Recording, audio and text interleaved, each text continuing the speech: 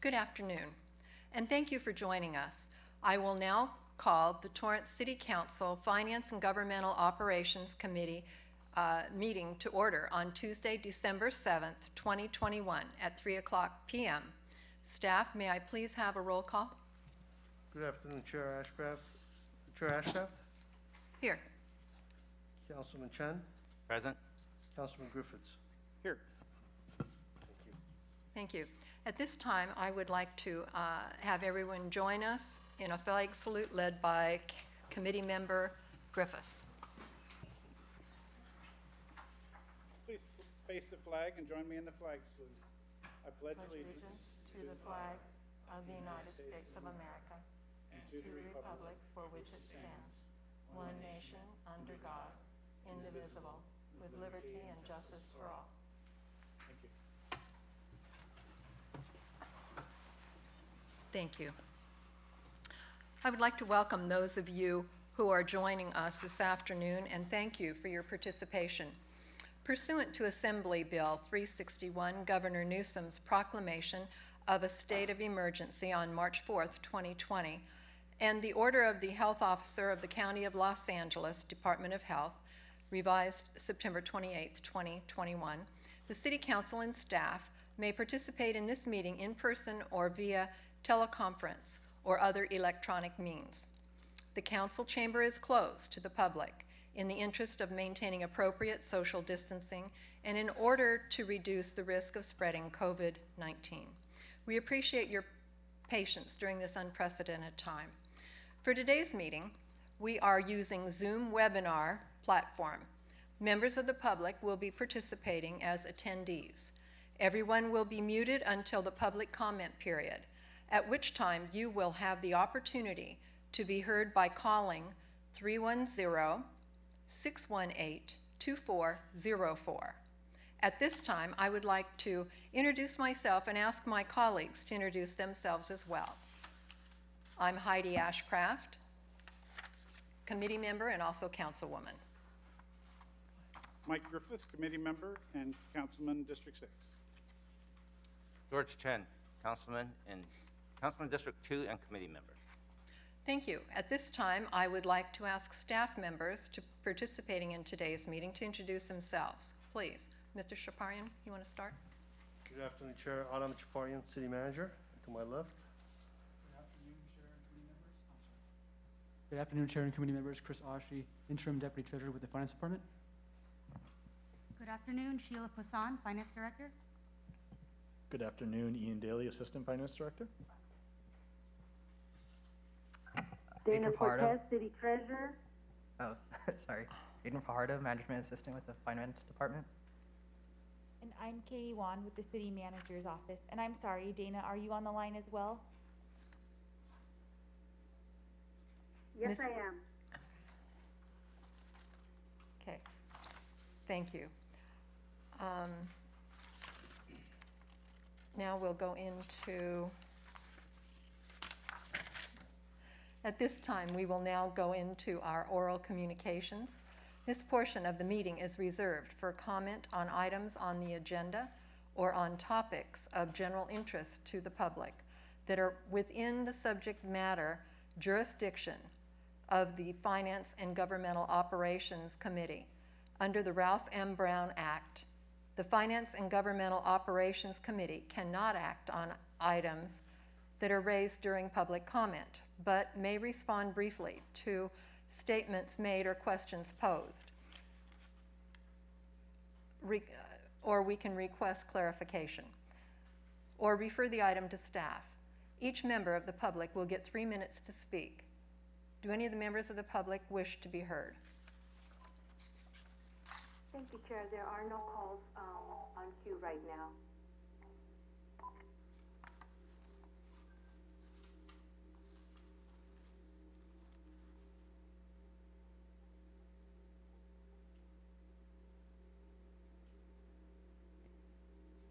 I'm sorry, call center. Are there no callers on the line at this time?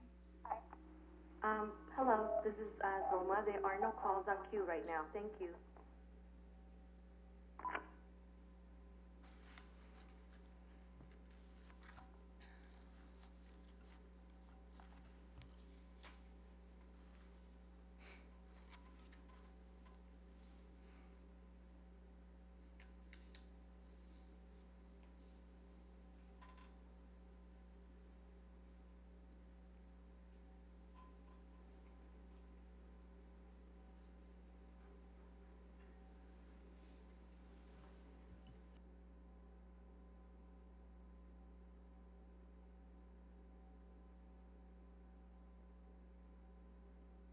Afternoon. We haven't received any callers at this moment.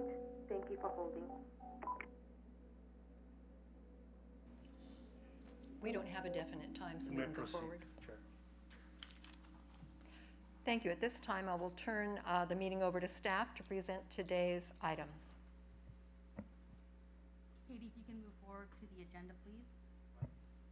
Hello? Is that good? Good afternoon, Chair Ashcraft and Council Members Chen and Griffiths. This is Sheila Poisson, Finance Director, here to present results from this fiscal year 2022's first quarter recommendations and program modifications from several departments. Uh, This will be followed by interim deputy city treasurer uh, to present our investment portfolio uh, summary and results, and we'll conclude with closing remarks from the city manager and questions from committee members. Next slide. Uh, Before getting into the first quarter results, I wanted to give a brief recap of our financial history and current financial state. Uh, As you know, City Council in October authorized staff to move forward with an educational outreach effort regarding finances, and since then, we've found this to be a common area of question. Although COVID-19, the pandemic did deplete essentially all of our reserves in fiscal 20 down to $600,000, in the five years preceding the pandemic, general fund expenditure growth was already outpacing the revenue growth, and the city relied on its fund balance to cover. Uh, so we started with 29 million in fiscal year 15, down to 600K in fiscal 21, and we're projected to be back up to 24 million by the end of this fiscal year as we slowly rebuild that balance. Next slide. More specifically, this shows the growth in each fiscal year, as, and as you can see, on average, the expenses outpacing revenues by about 1.2%. Next slide. Uh, here's another chart to visually show the trend, and as you can see, the gap between the two lines, revenues and expenses, growing in the latter years, which we are currently now trying to manage. Next slide. As a full-service city, our largest expense, of course, is salaries. And as you can see from this slide, we've been reducing staff levels since the recession in 2009. Uh, starting at the peak of roughly 1,200 employees in the general fund, down to about 1,000 in the current year. Next slide. Um, looking at general fund staffing levels by department, um, here you can see that these reductions have impacted every department, and overall, that the city's reduced staffing by about 10% uh, since that last recession, in 2009 over the 10 years, and more if the re- if reductions are um, ultimately applied to public safety in July 2022. Next slide. Uh, Since the pandemic, we've implemented $15.7 million in reductions, that's both in salaries and materials. Um, That's in fiscal '21 to respond to the pandemic and uh, the current trends, and another 6.3 in this current fiscal year, um, with uh, an additional 8.2 in police and fire that's been deferred to July of 2022. Next slide. This slide is really just a recap um, of those uh, mitigations I'd mentioned in the previous slide to show that um, we have implemented reductions in both the expenditure and revenue sides. And um, since the last two years, totaling about $22 million, recurring, ongoing. Next slide. Okay, now um, moving into this, uh, this year's first quarter.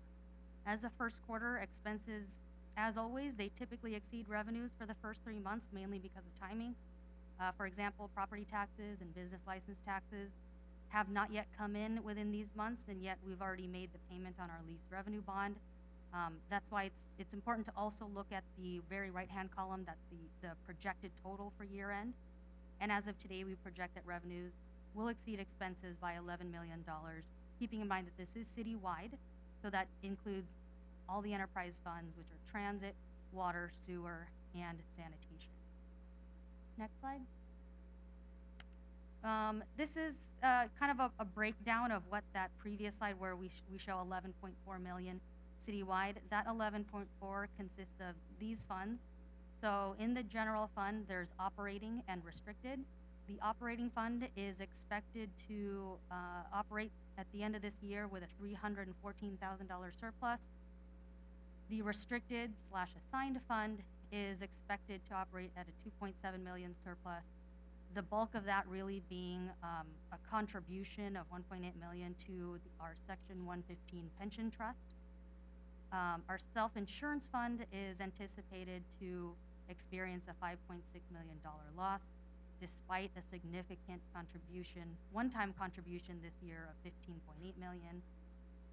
Fleet services is expected to break even. Um, however, this fund also has, it consists of two sub-funds, operating and replacement, and the operating fund is is expected to, uh, uh, operate at a structural deficit. Um, so mainly, that eleven point four million consists mainly of, um, surpluses in the enterprise funds, uh, led by, uh, water and transit. Uh, noting that in transit, seven and a half million of the revenues are one-time grants. Next slide. Um, here's uh, kind of another visual of what makes up the 11.4. As you can see here, those that are boxed in red are the funds that we're monitoring um, who are expected to operate at losses going forward, if you don't count one-time sources. Next slide.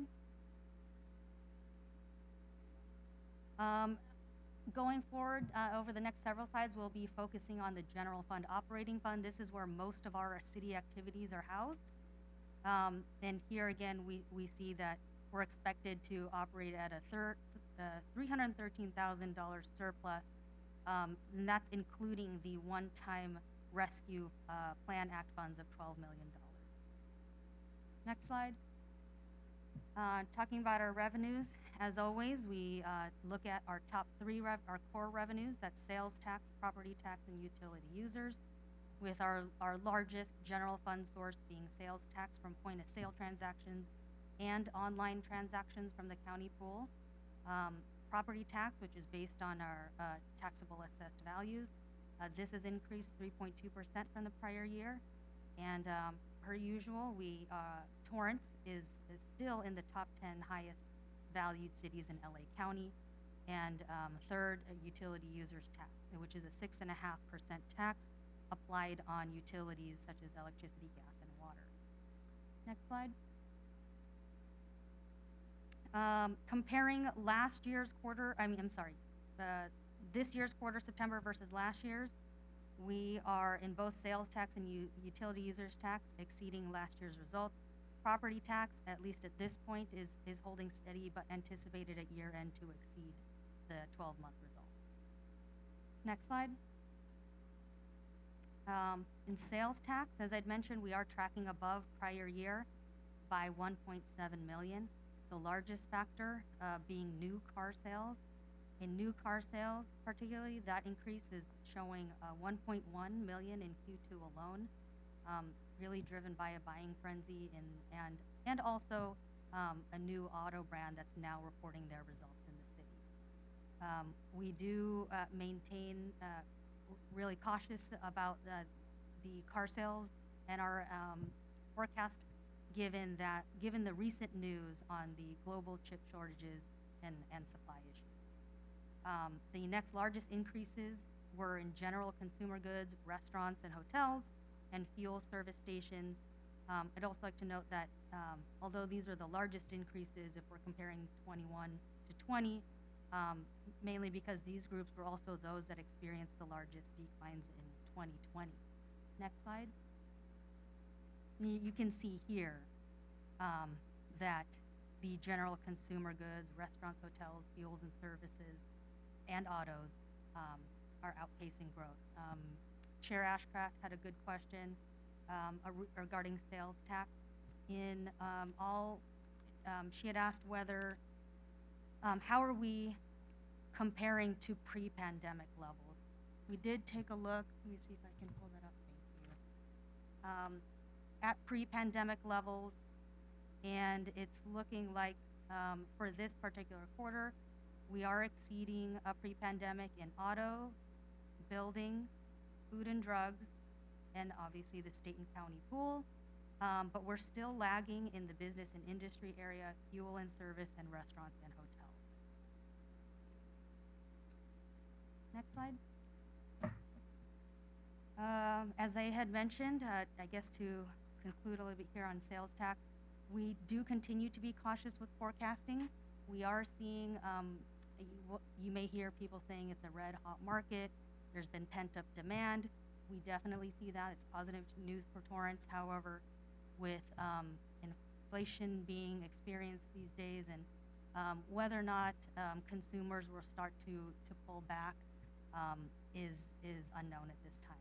Um, auto dealers uh, have mentioned that they expect inventory levels to return um, i at the end of calendar fiscal 22, if not early 23. Next slide. Um, I wanted to kind of show the history of our sales tax here, particularly in Torrance. Um, uh, there have been significant increase in sales tax the two years following the remodel of the Del Amo Fashion Center. Um, the addition of the lifestyle wing drove up foot traffic. Um, so you can see there the jump from a 34 million up to 51 once that remodel uh, was completed. And after that, we can see it actually being a drop off and then fluctuate up and down before the pandemic, partially due to the Supreme Court uh, Wayfair ruling, which required out-of-state online retailers to report sales into California. So really, just to see here that uh, consumer confidence and, and habits, um, pre-pandemic even, we'll see how it goes after, but they do fluctuate with the economy and are sensitive. Next slide. Property tax, our second largest revenue. Um, here's where we can really see that Torrance truly is a balanced city with um, the assessed values being 66% in residential, uh, 17% in commercial, and 9% in industrial. Pretty healthy mix. Um, we see, we have seen that prices continue to rise in response to low inventory and low interest rates. Uh, for example, the median sale price of a detached single-family residential home in Torrance as of Q3, calendar Q3 21, was $1.1 million, which is 172,000 more uh, than the median sale price in the same quarter last year. Next slide. Um, receipts, as I mentioned earlier, are consistent with last year. Uh, currently, we expect to exceed budget by 2.3 million, both due to increased assessed values and also the volume, uh, volume of sales in FY20. Next slide. Uh, third largest revenue source for the city is utility users tax. Currently, we're tracking above the prior year by 641,000, and uh, we continue to expect to exceed budget uh, by 1.1 million, uh, mainly driven by uh, the increase in electricity and gas rates. The California electricity rates are amongst the highest in the country. Um, as the state starts and begins to work towards this new power system to meet the climate crisis, thereby um, driving that cost to the, the ratepayers. Cellular and telecom receipts continue to decline um, as uh, data begins to be the majority of use. Uh, next slide. Other revenues to kind of round out our top five are occupancy tax and business license. Um, business license tax are expected to begin uh, coming in in January. We just sent out those the renewals. Uh, I want to say three days ago, um, and we're expected to meet that budget. Occupancy tax increased 1.4 million compared to last year. Uh, last year, um, not surprisingly, as we start to slowly open back up. The occupancy rate percentage increased 51% in January through September 2020 to 68% in 21. Uh, however, we are still under pre-pandemic levels of about 80 plus percent occupancy rates. The average daily rate per room also increased by about $5. Um, so if we continue this trend through the end of the year, we anticipate a budget surplus of one and a half million, though still ending below pre-pandemic. Next slide. Somewhat new this year that we'll be covering now in during first quarter is charges for services. Uh, since we've consolidated the Cultural Arts Center, Emergency Medical Services, Parks and Rec, and Animal Control funds into the general fund. And we see um, that charges for services, of course, with, with um, the economy opening back up, increased 2.6 million from last year. Um, that 2.6 mainly composed of fire, uh, fire's new EMS program, which is expected to exceed budget by about four hundred and eighty-five thousand. Um, in Parks and Rec, they're projected to exceed budget as the programs return by six hundred K. And in both community development and general services, where they're expected to proceed, um, exceed budget by four hundred K. Um, as we see, as you can see out in the street, development continues to be strong. Next slide. So to, to really summarize, um, our recommendation of increasing the revenues, general fund revenues by seven point six million. Um, the, over the slides I had just, uh, finished covering, um, with the increases in those specific taxes, net, um, net shortages in franchise tax, construction tax, use of money and property, and operating transfer, operating transfers in, um, that's how we net that seven point six. So the recommendation this afternoon would be to increase it just for this fiscal year, um, uh, to offset, uh, as I'll uh, cover in forthcoming slides, um, deficits in expenditures. Next slide. On the expenditure side, uh, general fund operating expended twenty-eight percent of, uh, the budget. That's an increase of eleven point three million from the prior year. Um, this is also attributable, though, to the consolidation of the previous enterprise funds I had mentioned earlier. So those expenses are now being, um, included in the general fund, and the timing of the new lease revenue bonds, which was paid, um, in that first quarter. So we should see, um, at least we expect to see in first quarter next year is that, uh, the year-over-year change should be somewhat, um, consistent. Next slide. As we look at expenses by department, or at least where we forecast it to be, um, it's anticipated that every department will expend within or under their budgeted levels through our efforts of holding vacancies. Um, with the exception of city clerk, that's only because of election costs. I think it's about two hundred K in election costs. Um, if we don't include the election costs, they are expected to be within their budget. Um, and then, uh, the biggest real, um, I should say overage in expenses is in non-departmental. Um, non-departmental includes, as I'd mentioned, a fifteen point eight million contribution to self-insurance, given the current, uh, litigation trend. Next slide. Um, kind of pulling out police and fire, uh, just to reiterate that, um, formal action was deferred, uh, of eight point two million dollars to next July. Um, for this year, it's anticipated that both departments will, uh, yield savings in police of nine hundred and in fire one point three million, both from vacancies, um, and strike team reimbursements from fire. Next slide. Overall, um, the city expects a seven point five million overage in expenditures, uh, as a result of this fifteen point eight million. Uh, without the fifteen point eight million contribution to self-insurance, the city would be saving about eight point three. Uh, the recommendation this afternoon, uh, would be to increase, um, the overtime, I'm sorry, yes, the overtime budget to correct, um, past practices by seven point, six point seven five million, and an additional transfer to self-insurance. Next slide. Over the next several slides, I'll be covering, um, multiple areas of concern that staff are tracking closely. These areas will require attention in the near term and over the coming budget cycles. That's overtime, self-insurance, fleet services, our cash balances, and, and labor trends. Next slide. Um, in overtime, um, historically, the city has under budgeted these costs, and they've been, we've been able to manage through, um, vacancies that are typically floated throughout the year in any given year.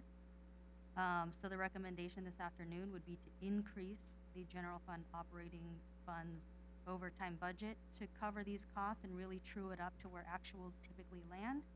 That's at about six point seven five million.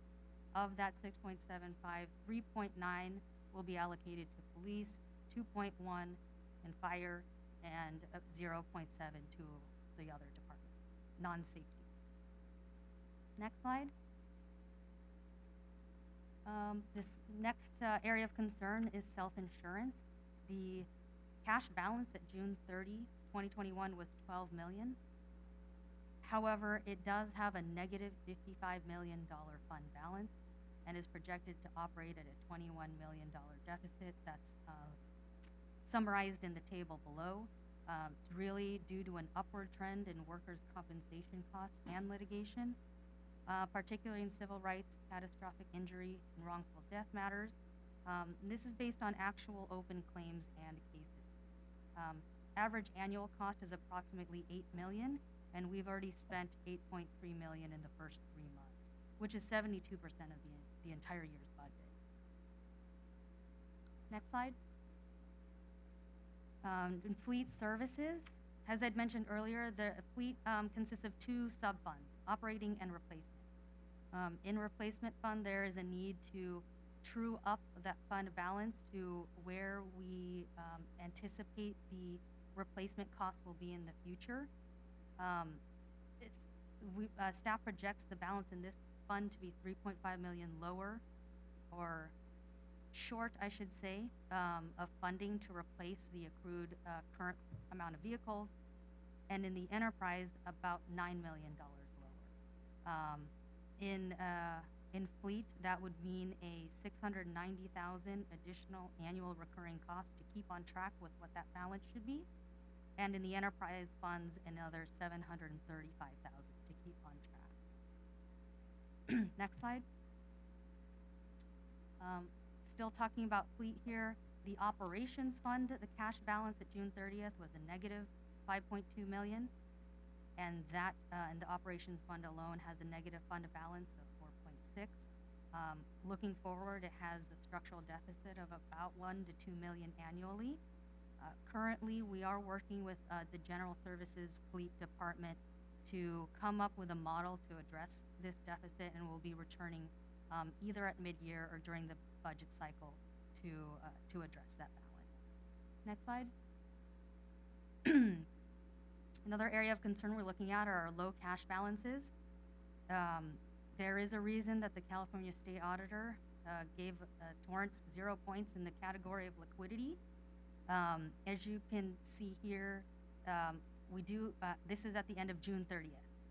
So with a total cash and portfolio balance of $161 million, only $11.6 million at that time was uh, allocated to general fund. Um, the other areas that the cash sits in is enterprise fund, non-major governmental funds that makes up 45 million. That's Measure R, Measure M, Prop A, C, gas tax, um, internal service funds, capital improvement, fiduciary funds, which technically are not city city funds. We are the fiduciary, and um, our other post-employment benefit funds.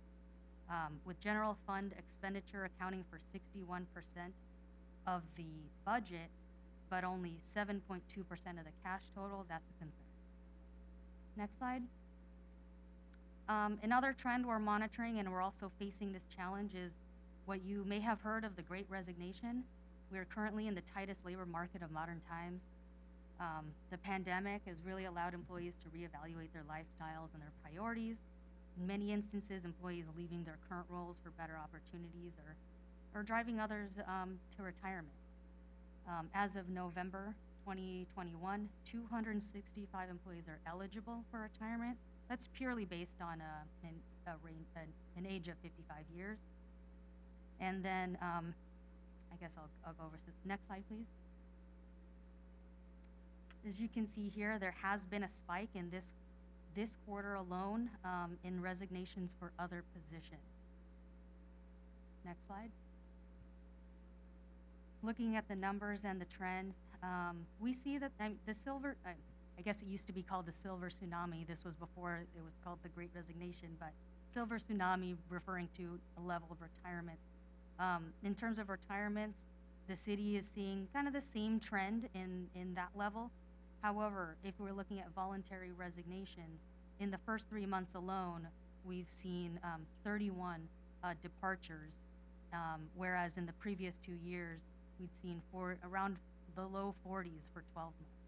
Um, the most common cited reasons for recent departures have been better salaries and benefits and uh, flexibility. So um, we, our staff are trying to um, address this challenge and, and be as flexible as we can, but as we know, there's uh, certain constraints. Next slide. Um, we've been monitoring our fund balance over the last several years. Um, I don't think anyone will ever forget this $581,000 figure. Um, fortunately, uh, through our efforts of holding vacancies, um, budget reduction, and one-time revenues such as ARPA, we've been able to build that back up to 24 million. Um, although the GFOA does recommend a minimum of 20% or two and a half months of unassigned balance, which is about 43.2 million. So at the bare minimum, we're trying to reach that goal. Next slide. Um, the quick CalPERS update. As of June 30th, 2021, the CalPERS portfolio earned 21.3% return.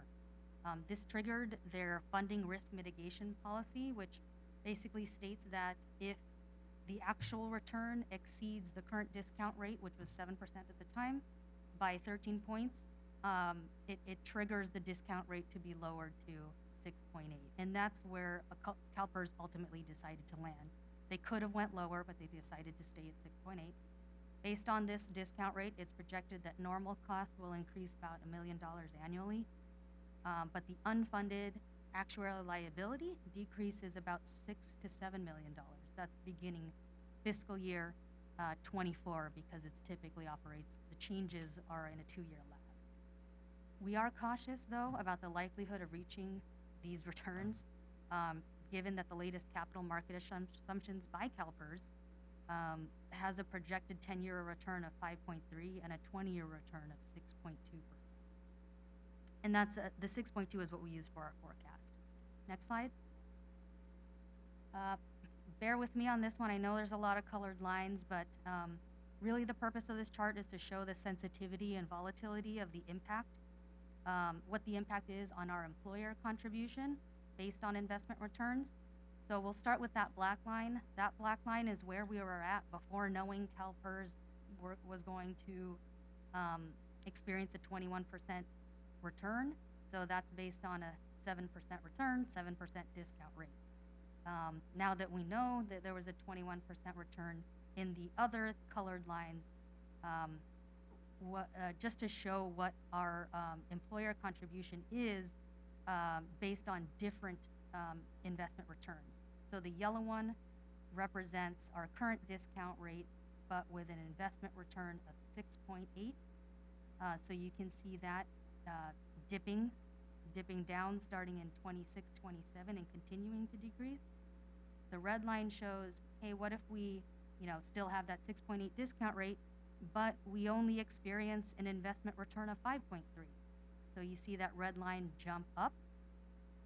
And the green line um, is, is kind of the middle of the road, and, and that's where CalPERS expected their 21 year return to be. Um, so that green line is what we had included in our uh, 10 year assumption. Next slide.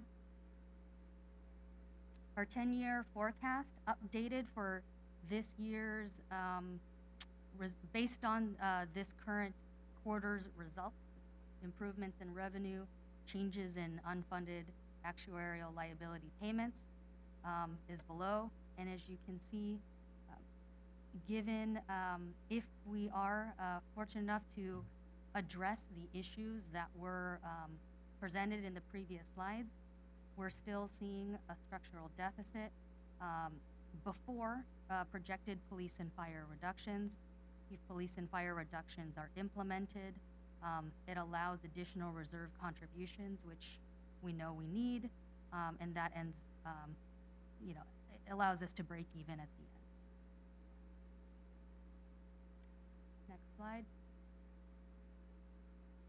Um, just quickly moving through kind of what is the economy looking like. Um, looking at gross domestic product, this reflects the value of goods and services produced by the economy in a year. Um, we're experiencing a supply chain crunch. Uh, it's anticipated to last until the end of calendar 2022. and inflation continues to be on the rise. Uh, we see it ourselves in gas prices, and even Social Security, who hasn't seen an increase in ages, uh, granted a 5.9% COLA increase. Next slide. In the labor market, uh, as of September, unemployment was at 4.8, U.S. in the U.S. California, though, was higher than that at 7.5, and LA County even higher at 9.8 percent. Um, since the peak, 17.4 million jobs were added back. Um, uh, employment is a, a lagging indicator, though. Um, next slide. Um, this kind of shows how we compare to LA County and some of our other neighbors, um, and uh, would like to note that um, while the, the trends are looking good for Torrance, and as um, usual, we continue to be lower in unemployment than some of our other neighbors and. Next slide. Um, consumer spending. Uh, we also monitor uh, confidence levels as well as demand is a critical engine of not just the U.S. but especially here in Torrance as we rely mainly on uh, sales tax revenues. And uh, confidence has really been extremely volatile since the pandemic, which is anticipated with all the uncertainties. Next slide. Um, as you can see here, it's dipped where we expected to dip in the second quarter of when the pandemic first hit, but has seen a gradual increase since. So consumer confidence returned to one, uh, 100.34 uh, as of um, Q2, which is the highest level since the pandemic, but in Q3 dropped back down to 99.6, likely uh, with news of supply chain issues and inflation. Next slide. Um, as I had kind of alluded to earlier, um, we are rebounding positively. Um, however, we are still cautious on the sustainability of this recovery, how long this pent-up demand will last, um, and, and really with the uncertainty of new strains like Omicron um, and how that will impact and how fast it will spread, how deep it will spread, etc. Next slide. Moving on um, into program modifications being requested. In the city manager's office, their uh, request is to convert one operations assistant to one TCTV, uh, Torrance Cable, uh, supervisor. That would be a general fund cost of 10, about $10,000. The current position oversees public access function and, cable, um, and the, the corresponding staff. That includes production assistants, interns, and an administrative assistant. Over the years, um, this position has um, gained some increased responsibilities, and as such, um, the cable division is requesting this upgrade. Oh, no, I'm sorry, not just an upgrade, conversion. Next slide. Um, in community services, rec- the recommendation is to reinstate the administrative assistant. Um, there is still a net neutral impact to the general fund budget, um, as staff has identified further non-wage reductions, mainly um, in recurring savings that the department anticipates with um, implementing what they're calling a floating collection, so they won't uh, no longer need to purchase multiple copies of the same items for each branch, and additionally the electronic and digital resources that will now be provided by the state. Next slide. In finance, the recommendation is to convert two intern positions into one administrative assistant, which is a saving, um, about a savings of seven thousand dollars. Um, uh, so this position plays an important role, mainly in workers' compensation is where they would be assigned uh, um, to file and insert legal correspondence, prepare notices, respond to phone calls.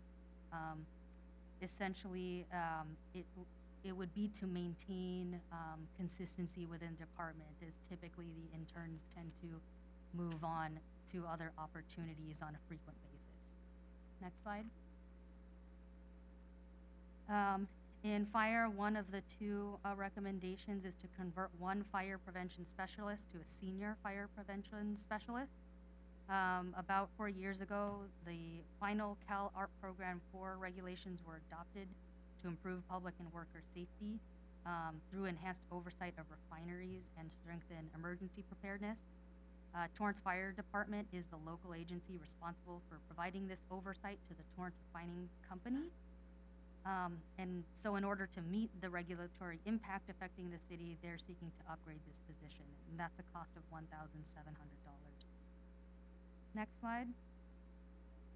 The second request, uh, recommendation from fire is to delete one ad, administrative assistant and to upgrade a senior administrative analyst to a policy and resources specialist. Um, considering the, um, that the fire department has evolved, um, considerably over the years, um, with now being, uh, seventy-two percent of the department's responses being related to rescue and medical emergency. In response to this growth, uh, senior admin analyst has carried increased levels of responsibility, um, including but not limited to budget preparation, including capital, management reports, complex response time and perform- performance analyses, cost studies, legislative tracking, and grant application management. This um, is uh, a net zero uh, cost to the city. Um, there was um, a small savings, however, fire um, wishes to maintain and keep those savings in the budget as they evaluate other positions. Next slide. And lastly, in transit, a recommendation is to convert one human resources analyst to an HR senior management associate, which is a thirty-one thousand dollar uh, increase to the transit fund. Um, they're seeking to upgrade a vacant, um, the vacant HR analyst position uh, to more actively engage in the recruitment and selection process, which is an increased scope of responsibility from the senior management associate role. Um, the department's operations um, will continue to expand with the regional transit center opening in 2022, and this will allow the transit services manager, who was hired to oversee the daily operations of the RTC, RTC to focus on those functions um, and reduce the focus on recruitment efforts as that um, incumbent is currently doing right now. Um, at this, so that's the last program modification. Um, at this time, I'll turn it over to interim uh, uh, Deputy City Treasurer Christopher Ashi.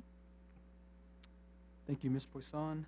Uh, Good afternoon, Chair Ashcraft and committee members. Chris Ashi, Interim Deputy City Treasurer with the Finance Department.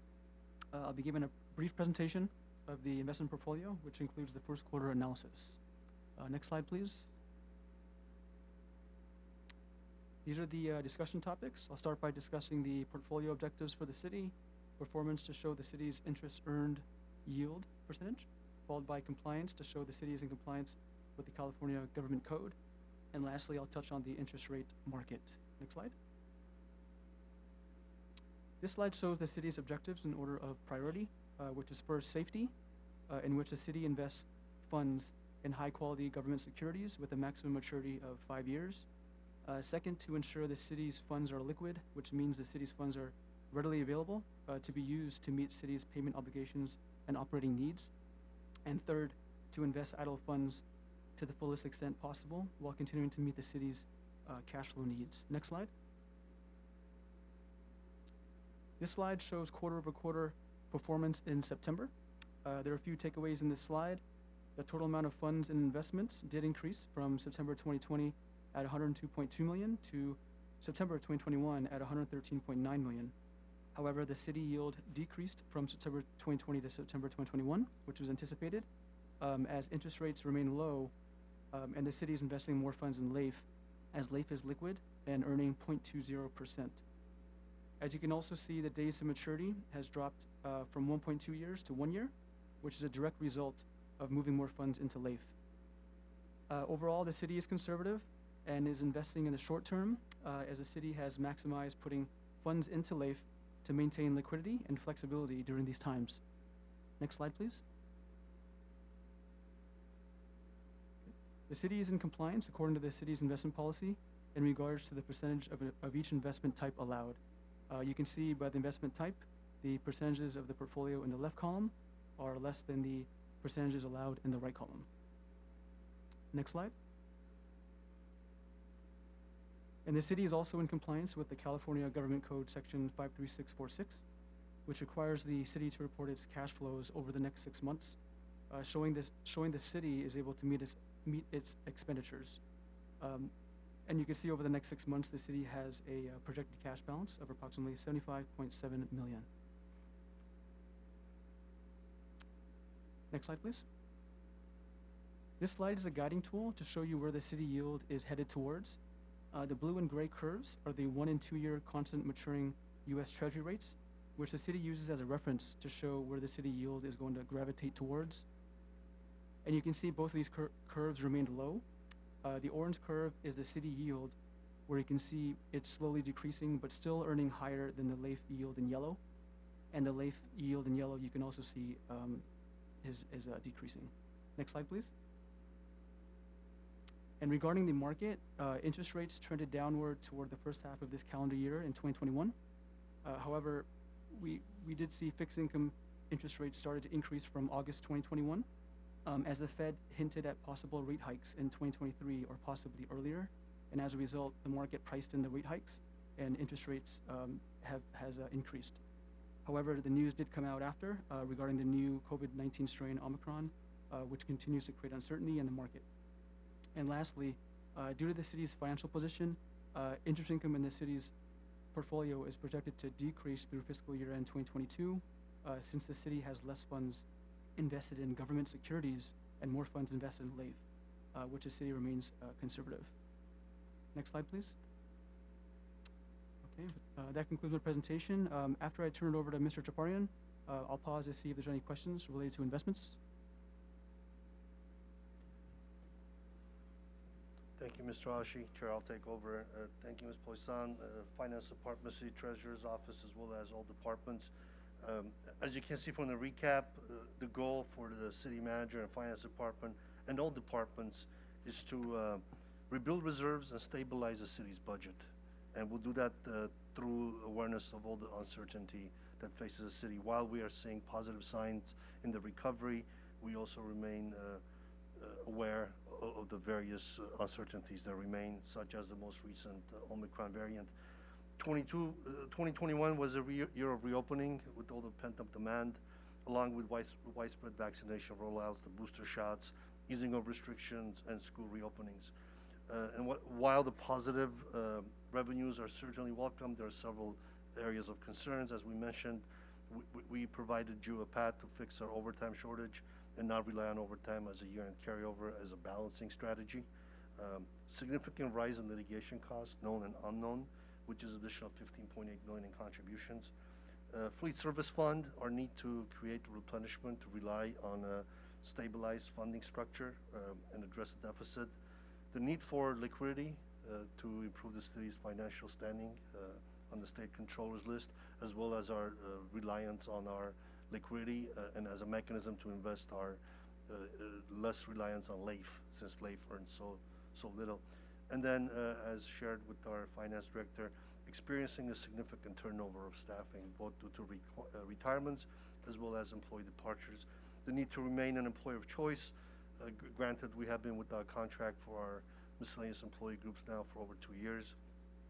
The fire uh, MOU will be expiring end of this fiscal year, and police uh, contract is another year and a half, end of '23. Next slide, please. So as conclusion, uh, as I've said in the past, I'll say it again, uh, uncertainty is our new uh, certainty. The high demand has created supply chain constraints. We hear that uh, many of our dealerships uh, are experiencing low inventory due to the chip shortage. They hope to return to normal levels in '23. The new variants still cause some concern. And then several global economic factors, if you've been following the news, there's a lot of uncertainty about um, geopolitical pressure, stock market volatility, housing market slowdown, just to name a few. And here in Torrance, uh, constant awareness of litigation concerns and the exposure thereof. And then as the state is looking at drought restrictions, that will have an impact on our utility users tax. Next slide, please. Um, we continue to be vigilant uh, in monitoring our financial situation. Lots of staff time and effort is focused on stabilizing our, our budget and ensuring the essential services remain uh, front and center. There are some positive uh, developments. Uh, As mentioned, if you drive around town, you'll notice all the construction that's happening, including the Hannum Grocery Market in Hawthorne, the senior living facility that's permitted, Rivian headquarters to be on California Avenue, polypeptide expansion, uh, Bachem extension, just to name a few, as well as additional businesses that we continue to attract and, and the focus to retain the businesses that we have. Next slide, please.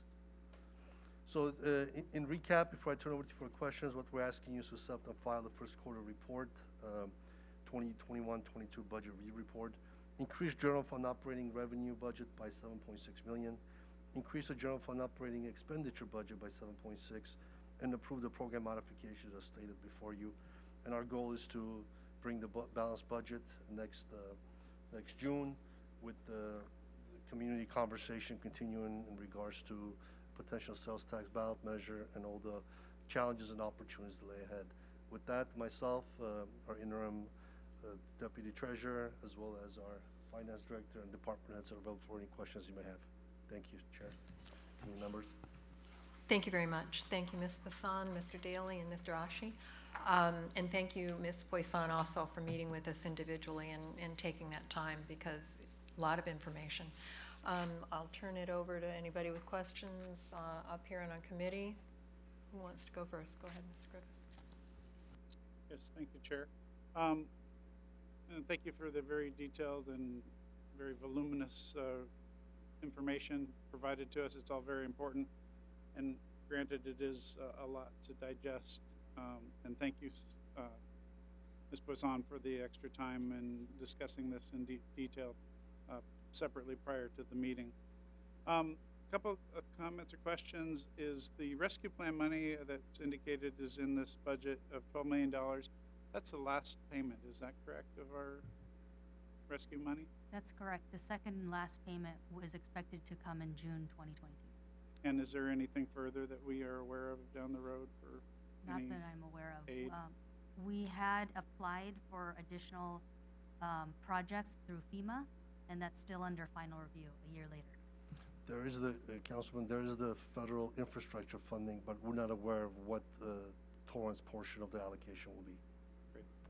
Um, and then obviously the, to me, the overtime is kind of like the black hole of our, uh, general fund. And, um, we discussed that I'd like to see some more information, how that overtime breaks out. Uh, it's really something that the council hasn't really had direct authority over. We, we allocate a, a budget amount for it, but then through, uh, unfilled positions that are budgeted, you, departments take money and, and, and sign uh, uh, overtime that's really not brought to council for approval.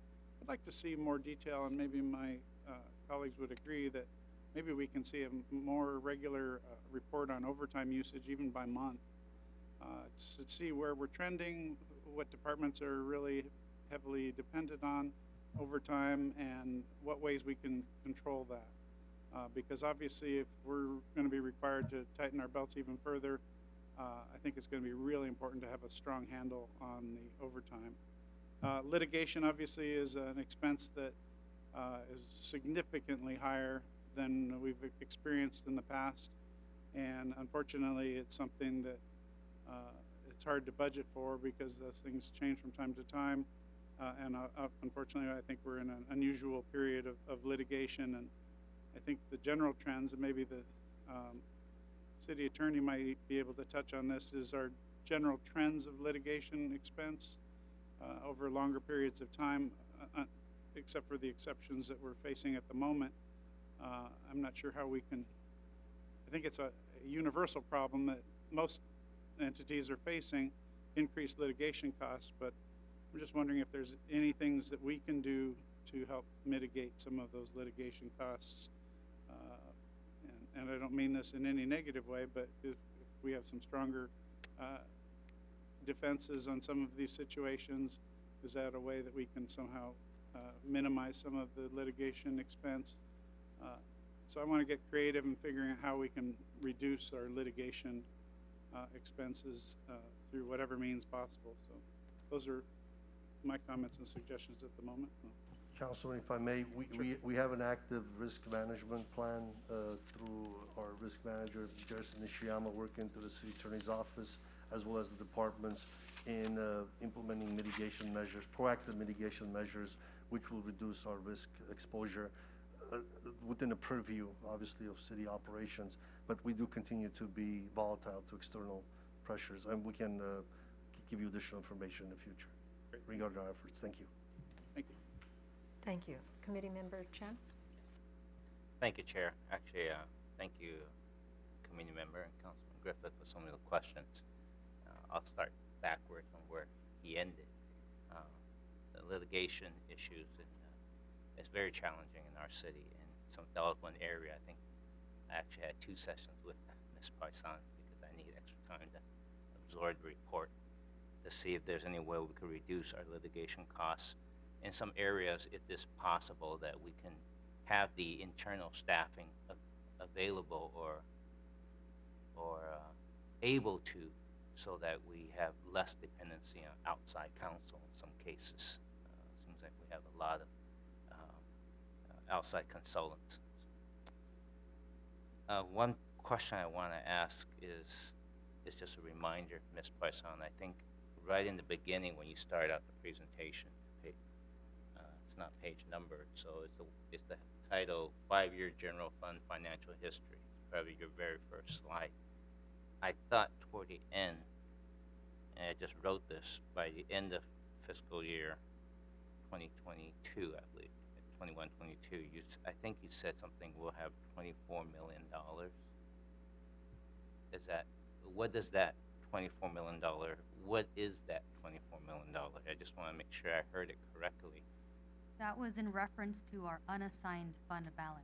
So our unassigned fund balance, it also includes our economic anomaly reserve. Okay. So, yeah, go So ahead. since unassigned, that means we have a lot of freedom based on this projection of twenty-four million dollars, where we want to put it. There's a lot of flexibility, Correct, whether should we we it. Mhm. want to put in a reserve or not. Correct. I think one of your slides, I'm going, I'm going by memory now, the Mhm. twenty percent rule of thumb, we would like to be in the forty-ish, forty-three million. 43. I'm- I'm going by memory again. Yep. That we like to be in, to be in the, I'll call it the safe zone, if you Mhm. will. So, which means if the trend is consistent, because we're just coming out of pandemic, and we're, in- we're projecting twenty-four million, would it be incorrect to say that in two years, this is just simple math, twenty-four times two is forty-eight million, we would be getting to close to the green zone. If we allocate all of the twenty-four million to reserve. That's a big if. Um, uh, what I will say in response to that is that we've been able to build back up to that twenty-four million through, I guess I could say, extreme measures. We've held like about hundred and fifty vacancies. Sure. Um, and in the previous year for fiscal twenty-one, most, in our, um, in our first quarter budget report, we note that thirty-two million dollars of one-time revenue sources were used last year that helped fund that, including the ARPA funds of twelve million. Um, if you recall, we closed some capital projects, that was four million. We, um, had transferred about five million dollars from transit for their share of the regional transit center land. Um, and then there was one point eight million in CARES Act, and the other nine and a half million one-time from the lease revenue bond issuance.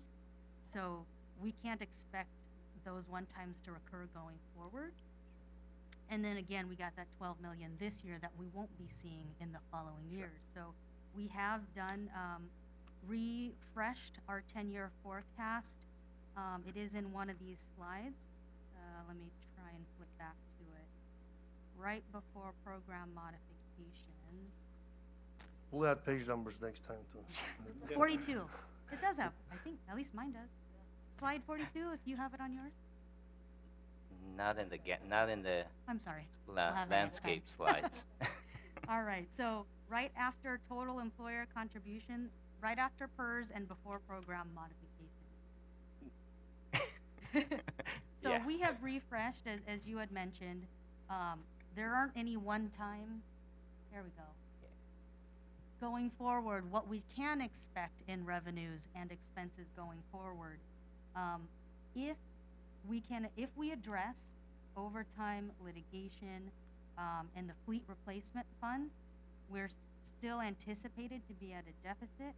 If the police and fire reductions are implemented, at that point, then we will have, uh, the ability, you see- see on the very, almost the second to last line, we, we will have the ability to, um, add to our unassigned fund balance in these areas, uh, these years, I'm sorry, starting in fiscal twenty-five. That's when we can start. Okay. Uh, Thank you for, act, my, my question was actually much more simpler. It wa, it was very, Yes, yeah, yes. I, I If we do that. nothing else, right. we'll have the, the re- reserve balance. Yeah, yeah, that's what I was getting at. I, Oh. I, I understand. I don't want to, I don't want to be overly optimistic, and I think financial report is good to be cautiously optimistic, and I, I realize that. I was just asking a simple question. It was, you know, if you, if you did a simpleton, you got twenty-four million dollars this year. There's potentially forty-eight million dollars next year. Uh, at least in that ballpark. Or if you say we don't do as well, you can say, well, may, maybe next year, let's the, we may get half of that. Let's say maybe 10 million. And it may take three years to build up the reserve to, to, to 40 If we spend in no other categories, assuming we have the Yeah. same projections Right. of, uh, the revenue, Right. Th- then that, that, that's a fair statement that we can rebuild, unless finance wants to chime in. Go ahead. I'll try to add a little light on this one. So on this slide, uh, if we pay attention to, for reference in like, say, FY twenty-five, because before that very little, it would be planned in terms of adding to that unassigned fund balance. But for reference in FY twenty-five, the economic anomaly reserve contribution, three point five, that would be an increase to the unassigned fund balance because the reserves are part of that total. The litigation reserve contribution, one point five, same, so that's five million. And then if police and fire were to implement their cuts, an additional one point two could be. So we're looking at six point two million in additional, uh, unassigned fund balance, uh, happening in that year. Years prior, it's even less. So no, we would not continue on that trajectory of going from twenty-four to forty-eight, namely because of those one-time revenues that we experienced in twenty-one and in twenty-two. We moved a lot of funds, Councilman, to build that twenty-four million. Say that again? We moved s- several funding categories, as mentioned, on one-time basis to rebuild that reserve from the u- unrestricted six hundred thousand to the twenty-four as a buffer. But we can't rely on those single one-time sources moving forward. Uh, sure, sure. I understand. I, I, I, what I was trying to do is clarify. I saw the 24 million unassigned, and unassigned to me means unassigned. To me means potentially reserve. That's all I was doing. I wasn't trying to read too much into it. And if there's something else to help me clarify, maybe next quarter review, you know, I- guess make make it so that it's C spot run. I can't miss it. I, I'm just I was just doing that. And the one-time ones, I know we can't bank on one-time funds. That's I understand that as well. Um, and I understand the OT. I think that uh, Councilman Griffith did a good description on that. This is uh, I know a lot of times, you know, industry practices, it's often you got to find that good balance, right? Because uh, do some overtime is actually good because you don't have to hire extra staff, which comes with all the benefits and all the pension that goes along with it. But you just got to ha- have that right balance and and put the right budget in there. I think the key key issue is if you don't know what the anticipated overtime is, and you're trying to balance it by underhire, that's kind of a risky uh, way to uh, balance your budget by underhire, uh, because we really want the right size staff to do the job. Uh, Councilman, to your point, we have uh, certain overtime built into the budget, just from normal operating conditions. However, the recent fluctuations in reliance of vacancies as a balancing tool uh, has created challenges with additional strain on the existing employees. At- some point, uh, going into the 22, 23 fiscal budget, we- we'll need to right-size the operations, and and those are the- back to the the pending police and fire reductions, because that'll fundamentally change our bottom, bottom line. But yes, we, we, we try to reflect an accurate uh, assumption of uh, built-in OT versus the fluctuation, which is really shifting the dollars from uh, potential filled positions to vacancies. Uh, As you stated, so in some instances, it helps us in saving on overhead, but it does place an additional burden on the organization. And the, the vacancy situation we've been having and using, I'll call it the understaff. I, I don't know if that's the best term, but at least it's easy to understand. By understaffing, we've actually been using that understaff for more than a few years. Would that be accurate? We typically have a, uh, a rolling vacancy pool. By the time somebody declares their intention to retire or leave the agency, there's a recruitment period. And we've been carrying uh, anywhere from 80 to 100 positions, just an organization of our size. But we've, we've doubled that intentionally, at least in the last two years, in a way to uh, avoid, uh, uh, to create revenue uh, and to avoid any drastic impacts. Sure. And thank you very much. Sure. I think I, in my earlier discussion with Ms. Poisson, um, and going in the future, I know, you know, it's hard to predict. You know, no one knows the crystal ball, how much we're gonna come back. Uh, some certain areas that I'm, I'm interested in is each department, you know, department lead really, uh, do some kind of a, I'll call it bottoms-up review. Uh, do some lean practices, lean, lean principles to see if there's any areas that we could lean out to get the right size staffing. Uh, whatever that may be, uh, you know, I can't predict it, but at least I'm just looking for more, uh, more areas, uh, We continue that regularly, Councilman, and as you probably saw in the beginning slides, we've been uh, trimming and leaning the last uh, uh, several budget cycles, uh, knowing that there's so much uncertainty with, since the post-pandemic. At some point, we'll have to come to terms with what level of service we're going to be able to provide going ahead. But as a business practice, yes, the Right. statement about being consciously aware of our operational needs and, and making sure that, we've been doing that since '08. Every time we had a vacancy, we paused and asked, asked ourselves, is this the best way of doing business? Uh, through all the reorganizations that you've probably seen, uh, that, that's almost part of, part and true and parcel to our operations and making sure we provide the best service with the, the appropriate amount of staffing. And that's credit to all the departments and, and the staff working hard to provide those services. Great. And I, I just have one last question, um, that probably goes to Mr. Ashi. I think last time he reported on this, you, you probably heard me ask on the dais about our flexibility and our investments. It just seems like, I know we have to invest based on our investment policy.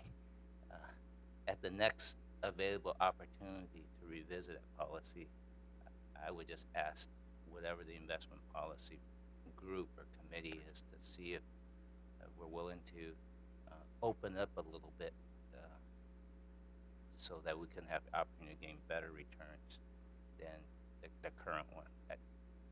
Whatever may be wise. That, that's all I ask. I don't know what the smart thing is because I just felt like, you know, we're, we're so handcuffed.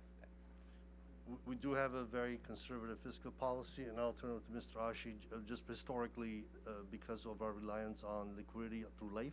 LAIF has a set uh, threshold. We did create the pension trust, uh, which allows us greater investment return, granted higher volatility. But should council choose, we could uh, conduct a study of other municipal agencies and- and bring back an item on the thresholds of what other agencies are established, uh, what their policy, uh, the benchmarks are. Oh, sure. I- And I'll turn it to Mr. Ashi. if there's Yeah, if that is possible, that would be great, maybe, you know, check with other agencies, it's a possibility. I, I just felt like, you know, every month I see it, it's like, ah, Yeah, I a just lot. want, yeah, I just want to state, so, uh, we do follow the local agency investment guidelines, and it's a state investment policy. So, uh, California Government Code five three six oh one, it states all the investments that local agencies are allowed to invest. And there's no equities, no stocks, no risky investments there. That, I'm looking at the list right now, and it mirrors what we have already in our investment policy, which is why we kind of, you know, we have to adhere to that policy. So, um, it, it is there, it's a state investment policy, so all the local agencies have to adhere to that. Got it, understand, that, that's all I have, thank you very much. But, but we can review to ensure if there's any other models outside of the government code that can be within our purview. Yeah. Thank you. Report back. Thank you. I just have one quick question. On the uh, new EMS transfer program that we have.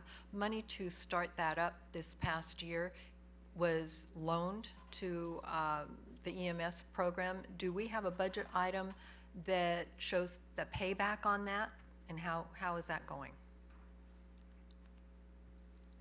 It's included in our FY twenty-three budget to return that back to the capital funds that we borrowed from Starting in the, in '23? fiscal twenty. Okay, Correct. thank you. And it is anticipated, uh, based on our, uh, results from April to now, that we will meet our revenue expectation. Great, thank you. Are we, committee members? No more questions? Thank you. What? Not here. Mr. Chaparyan, do we have the public I, I uh, can check with the call center if we have see? any other, any other callers on the line. Thank you, Councilman. No callers at the moment. Thank you. Thank you.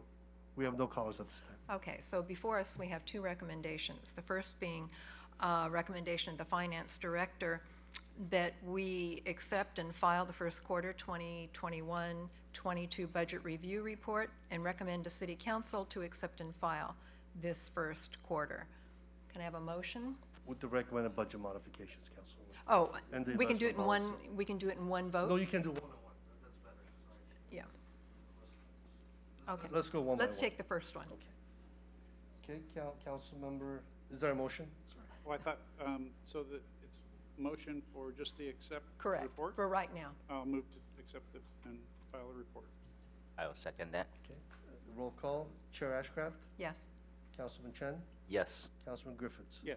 Motion passes three zero. Thank you. Okay, second recommendation is uh, recommendation that the Finance and Governmental Operations uh, Committee approve the increase in general fund operating revenue budget by seven thousand six hundred, no, seven million six hundred thousand dollars. And this is a one-time, that's not stated here, but I think we need to put that in, that it's a one-time increase. Noted. We're going each uh, item individually? You could take it as a whole if you like. We'll take the whole thing as a whole, then the increase in, yeah, Yeah, I- I'll move to uh, uh, concur with all items one through seven uh, on the uh, recommendations on six B. I second. Roll call. Chair Ashcroft, yes. Councilman Chen, Yes. Councilman Griffiths. Yes. Motion passes three zero. Okay, thank you. Um, Thank you all for joining us today, and uh, at this time, I'll ask my colleagues for a motion to adjourn. I'm, I move to adjourn the Finance and Government Operation Committee meeting. I'll second that.